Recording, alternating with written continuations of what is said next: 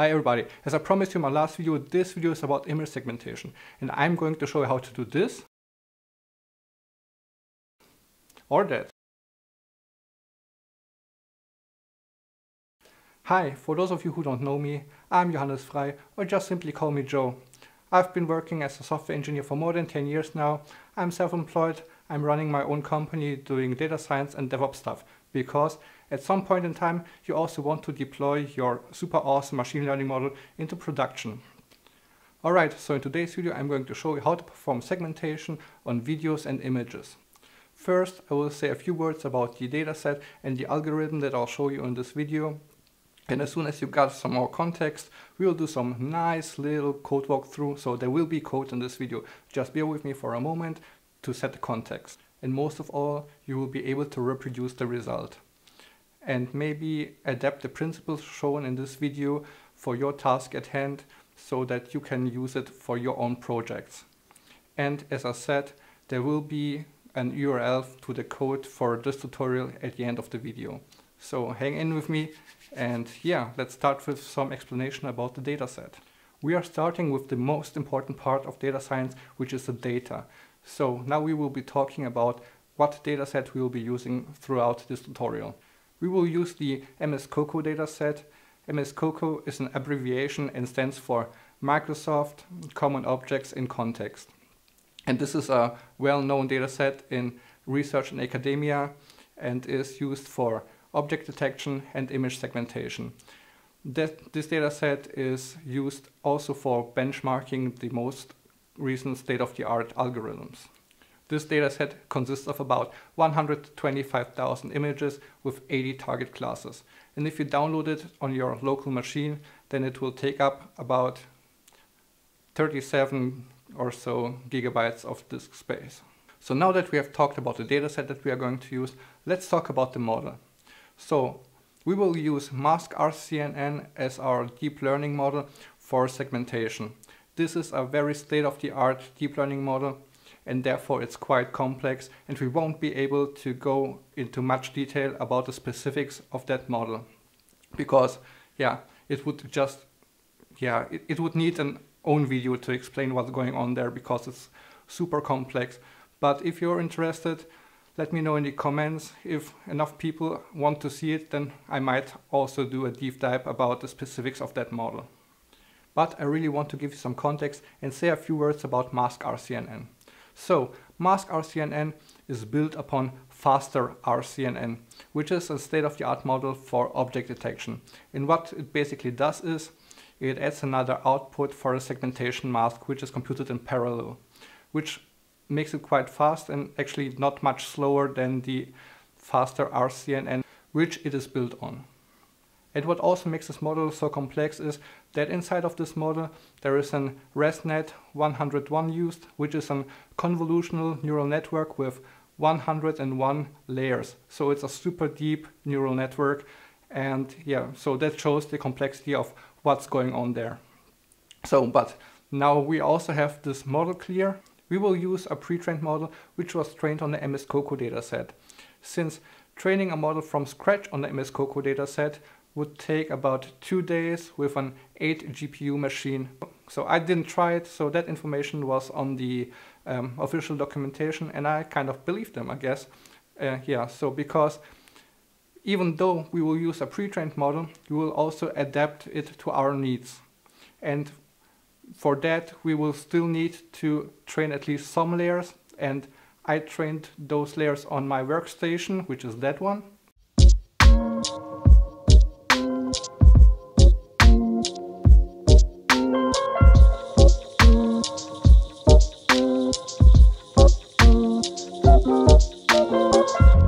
Workstation has an AMD Threadripper 1950X CPU, which is a 16 core CPU, and also has two 1080 Ti's for training deep learning models. So it's a quite powerful machine, and even with that machine, training one epoch of this tutorial takes about one to two minutes. So imagine doing the whole training, yeah, I kind of believe that it would take forever. In my last video about selecting the right model for your current task, I talked about pre-trained models and that it is possible to use and adapt them and in this video I'll show you how to do it. But now you're asking, okay, but what are we going to adapt? Okay, let's see. So we will use a pre-trained model which was pre-trained on the MS COCO dataset. And as I said earlier, the MS COCO dataset has 80 target classes, which means it is able to detect and segment 80 different objects like people, cars, and so on. But what we are going to do is we will only or we want only to segment people. So we don't care about all the other objects. Okay. One way to achieve this result would be to just leave the model as it is and detect everything, but then in the output only highlight the people and don't highlight the other objects. But in this case, the model would still search for all the other objects and it would be slower and it will cost more performance. So what we are going to do is we will take this pre-trained model, then we will drop the weights of the final layers, which are yeah, there for classifying those 80 different classes, and we will retrain them to only classify people. And how this is done? Yeah, so you are asking how this is done? Yes, I'll show you now. Okay, now let's have some look at the code. Alright, when you open the project, you will see two directories. One of those is called people segmentation, the other one is called mask rcnn. In the mask rcnn folder, there is basically the whole mask rcnn model, which was downloaded from GitHub from some company that made it available. I will also put a link into the description below for that. But I also removed some of the samples and yeah, some of the stuff to make it more concise. So what can you see in this directory? When you open the mask rcnn folder, you'll see the mrcnn folder, logs, images, and yeah, this is some project stuff that is that is neglectable. So you can also just remove those two. Probably they won't even be there as soon as I upload it to GitHub. All right, so in the mrcnn folder, there is the whole implementation of the model. And just to give you an idea how complex this model is, I'll just open the file and show it to you. So when we open the model model.py, you already see that there is a lot going on here. And if we scroll down, you'll see that that file is about 3000 lines long. Yeah, so you see it it's 2800 something something. So a very complex model. And yeah, I hope you understand that it would take forever to go through all of that. So we just assume that that stuff works and it does what it needs to do. Then there are some other uh, files which are configs, utils and visualize stuff. Okay, we won't care for them that much now, but maybe we'll come back later to that. Let's see. The logs folder, this is the folder where per default your trained models are stored. So as you see, I've trained quite some models for testing purposes and so on, and they are all stored here with uh, some timestamp. Yeah, basically that's it. There's also the requirements um, txt and the setup config and so on, so that you are provided the packages that you need to install for all of that to work. But now let's dive into the code that actually performs what we want to do. Also a quick shout out, the examples and the code provided with the mask RCNN implementation are excellent and well worth a look. But also at first sight they're quite overwhelming because there's a lot of stuff going on for example, there are also examples how to train um, this model on ImageNet, not only on MS COCO. And yeah, there's quite a lot going on there. So mm, what I tried is, I tried to make this tutorial as concise and as understandable as possible and only focus on the parts that really matter for our current task at hand. and I will put a link to the mask-rcnn repository in the description. So as I said, it's worth checking it out as well. So alright, with that being said, now let's go and have another look at the code. Let's start with the helpers.py file. So first of all, there are the imports that are just needed, and then there are just a few helper methods, and I'm not really going into much detail about them. So there is a method to get the colors that are used for the segmentation masks. Also, here's the method that actually puts the mask onto the image, does some validation with this 05, controls the opacity of the mask. Alright, then there is a helper method for saving the image. What this does is basically it gets some it gets some path to the to the source image from the source image. Then it will call the detect function, which will try to detect the people in this image. And and with the results from that, it's calling this get image with mask that we have seen above, which puts the segmentation mask on top of the image and then it just saves it back to some other file. Then there is this method save video. Yeah, as the name suggests, what is it doing? Well, it's saving the video. Um, yeah, so first of all, we generate some video object. And then what we are basically doing is that we are stepping through the image frame by frame and doing and using the method that we saw before for the image task. So for each frame in the video, we will we will detect the people, then we will put the segmentation mask there, and then we will just buffer the stuff, and at the end we will save the video. So this is done in this loop. So for every frame, we get the image, we um, use, we call the detect function to detect the objects. Then we put the mask there and then yeah we write that and in the end we save it to the file. but now, now the crucial part comes. So the mask RCNN algorithm requires a config and a dataset. And the config basically um, tells, or, or, the config gives some yeah, configuration properties, right? So here we can give a name to our config or to the model that we're trying to train. We put the number of GPUs and the number of classes that we are, want that we want to predict. So in our case, we want to predict one class because we are only interested in people. And also uh, we need to add another for the background that is always there. Yeah, then we say for how many epochs we want to, uh, so how many steps are in one epoch during the training process.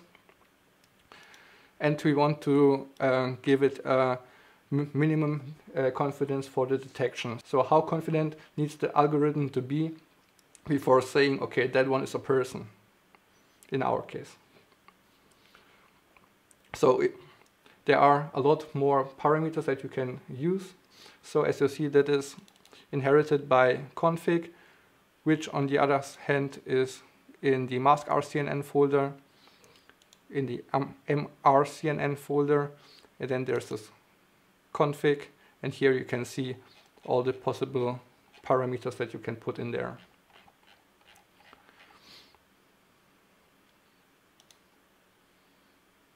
All right.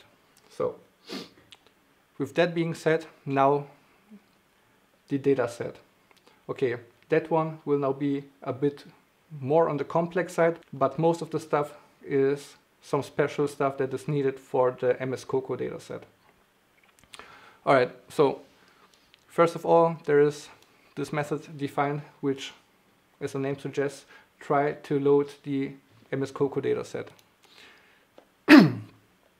You can you can provide an auto download parameter which makes it download the MS Coco dataset from the internet. So if you put true for this parameter, it will download the 37 gigabytes of dataset onto your local hard drive. And then it basically tries to load all the stuff from the from the MS Coco dataset. And yeah, what is to point out is that you can that you can uh, provide the class IDs. And this is how I actually did the limitation to the person class because I know that the person class has the class ID 1 and so when loading the Coco dataset for training and for validation and for everything, I always provide class IDs eh, with 1.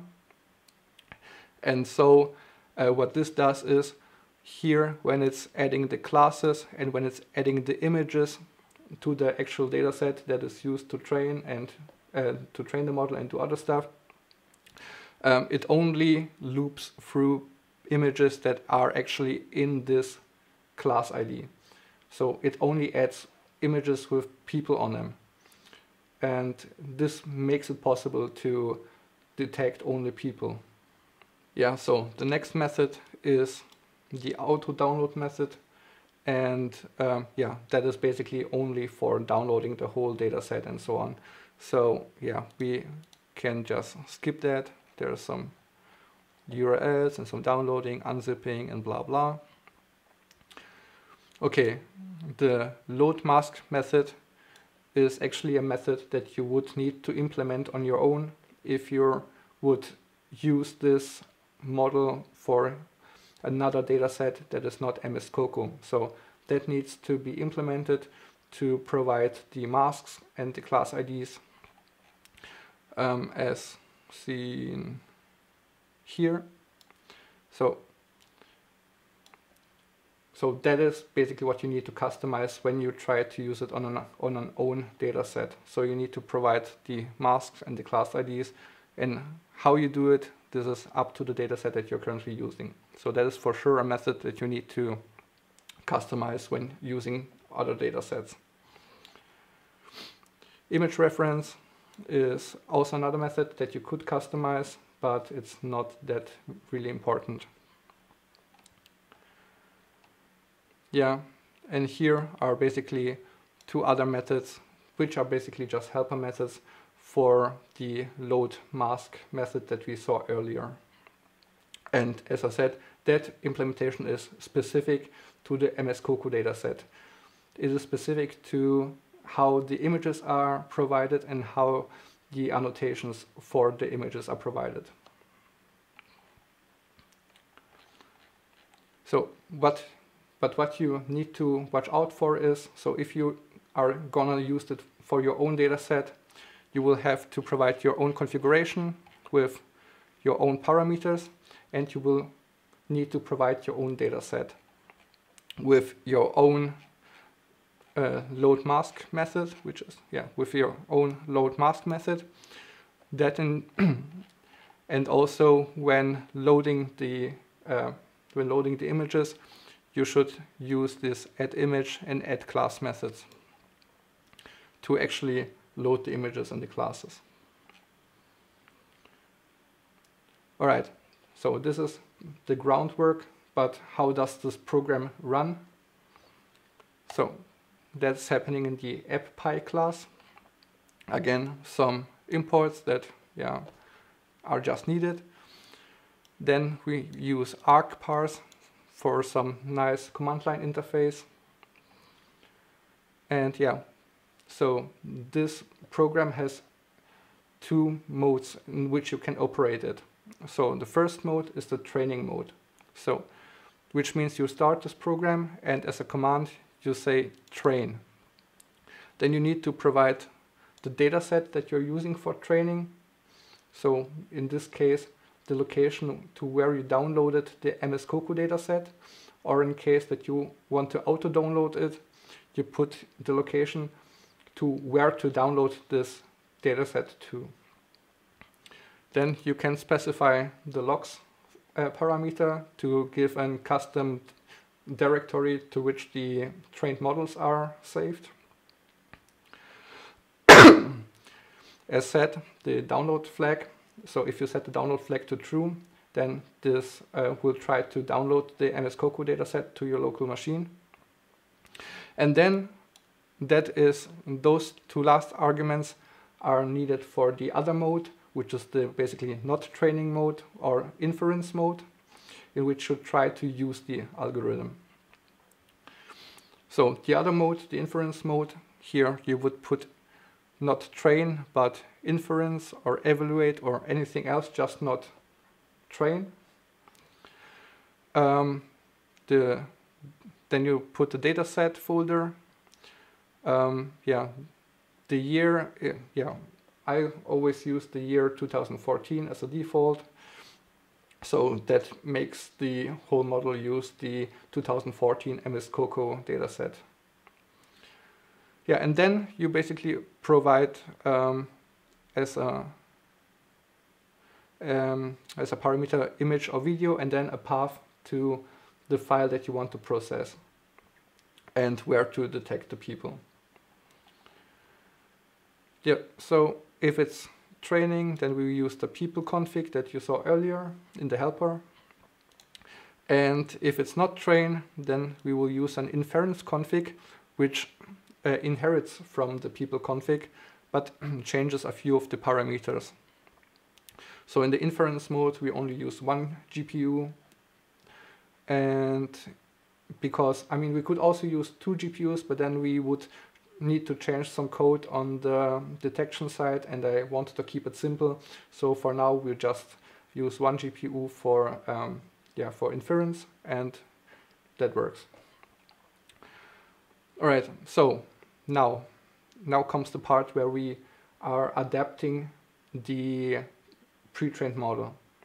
So as you guys see, we use the mask RCNN in the training mode providing our configuration and the directory to where to put the models to.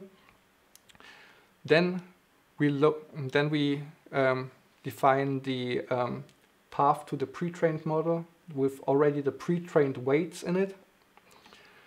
And here we say, okay, we want to load those pre-trained weights which were trained on the MS Coco dataset, but then we want to drop the weights for those layers, which are the final layers, which uh, say, okay, we want to detect 80 classes, but we don't want to detect 80 classes, we just want to detect one class, or like two if you also count the background. So we, and that does not mean that the layers are deleted, it's just that the weights that were trained on the MS Coco dataset are dropped for that for those layers. Because we are going to train them by ourselves. Okay, then we get the dataset and we load the MS Coco dataset. Um, this is some special. This is something special for the MS Coco dataset that you can find in the documentation. Actually, doesn't matter so far. Then it's the validation data set is loaded. So the only difference here is basically that, um, yeah, here it's saying train, here it's saying validation, right? Then also we put some um, augmentation. Oh yeah, and before I forget it, here you see that we are using class ID 1, which means people. So we are only interested in images and um, yeah, and the class ID one, which which uh, means people. So we only process those. And yeah, so basically after that we say, okay, we want to now to train the model, but as you see, there is this parameter which says, okay, we want to train the model, but we want to freeze all other layers and we only want to train the head layers which are the ones that we excluded above. And what this ma makes is that the final layers that are there for classifying and detecting the correct objects are now trained to detect only the objects that we are interested in that we provided here, which is people. And basically, after that, that's it. With that we have a trained model. As I said, if you want to, to do this, you should really use a GPU because on CPU it will take quite some time. Yeah, and here is basically what's happening in the non-training mode, so which means in the inference mode.